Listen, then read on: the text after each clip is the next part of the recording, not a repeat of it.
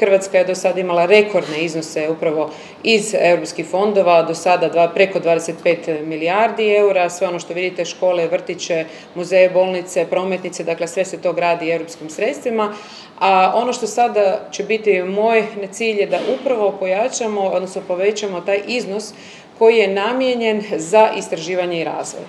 Zašto za istraživanje i razvoj? Zato što tu odgovaramo na to pitanje što govorimo upravo za povećanje i za znanost i za obrazovanje.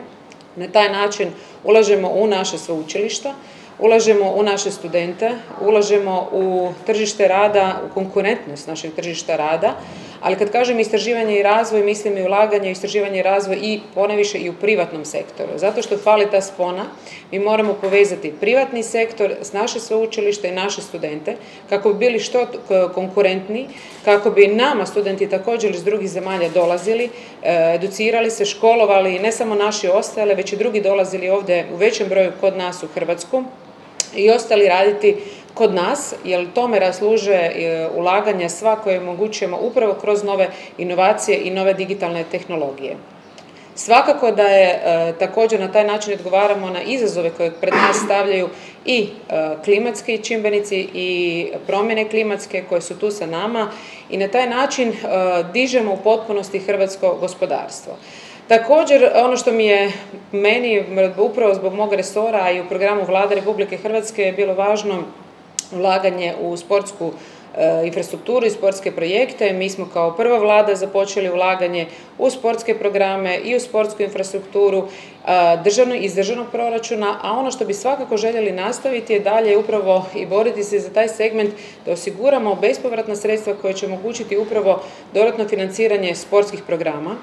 jer ono što je cilj svima nama da imamo e, mogućnost da sva djeca i mladi imaju jednaku mogućnost baviti se sportom, bilo ono u Zagrebu, u Gospiću, e, bilo to u Pati ili bilo kojem dijelu Lijepe naše. Također, e,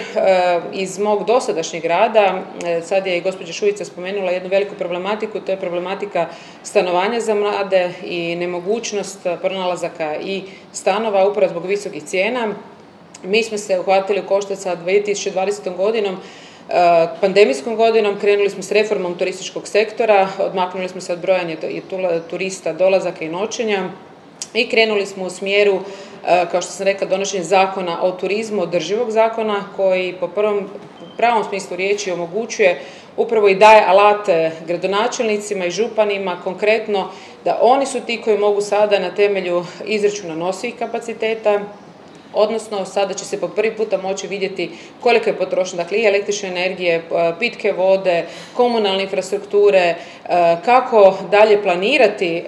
kako će se, za što će se koristiti stanovi u, na primjer, u starim gradskim jezgrama, jer nam je cilj da stare gradske jezgre se ljudi ne iseljavaju. I sad imaju sve alate u svojim rukama da upravo idu u tom smjeru održivosti i da vode računa o tome i o prihvatljivosti, znači o mogućnosti kako mladi ljudi mogu sebi priuštiti danas stanovanje. Dakle, Hrvatska je po ovom zakonu lider u državnom turizmu i mislim da možemo biti također jedan dobar, dobar primjer i u Europskom parlamentu i za druge države članice. Hrvatska je danas izrazito jaka, zato je naš slogan i stoji snažna i važna. Mi stvarno jesmo snažni i važni, ima najbolje rezultate, pogledajte samo rast eh, koji se predviđa BDP-a 3,3%,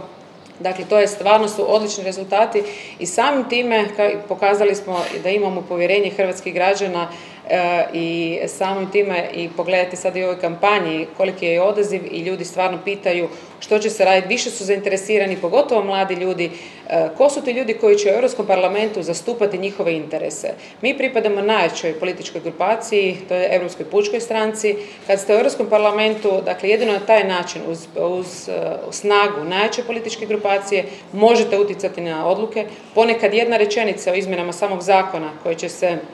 kad se bira, kad komisija stavi zakon i spusti ga prema Europskom parlamentu, donosi, može utjecati značajno na vas, na mene, na naše gospodarstvo, na naše studente, na naše mlade i na taj način mislimo i dalje zastupati i boriti se za hrvatske nacionalne interese, ali naravno s zajednički s programom Vlade Republike Hrvatske.